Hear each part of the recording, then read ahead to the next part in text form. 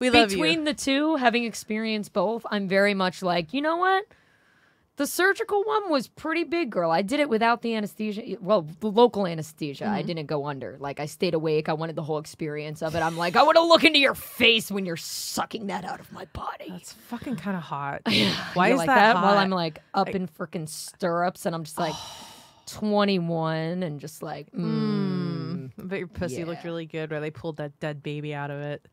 Yeah, you know, they just This could be a fetish. Wait a minute. vacuum the whole thing out. Wait a minute. Only, Does abortion spa also have an OnlyFans? OnlyFans abortions to help women pay for their fucking abortions. If people are into that, there's a fetish for that to watch bloody fucking guts come out of a pussy. Somebody is into that. Is this how we make abortions okay in capitalism? Is it Is because like then- we've got to find a way to not only you know the doctors are getting paid and it's safe and that yes yes Yes, yes. but also let's feed it back To into the, machine the and like get the com- OnlyFans going. OnlyFans paying the insurance companies. You know that there's somebody that would fucking come to watching a fucking dead baby come out of a The pussy. more I'm thinking about it, the more I'm really looking forward to porn 30 today. Oh yeah, Yeah. But we don't have any abortions. I'm so sorry. There's we, we need to create an animated like fetish subgenre of like abortion porn. If you're thinking of it, there's got to already be a porn. well, it's probably on like the deep web. I have to go like looking on Tor for it.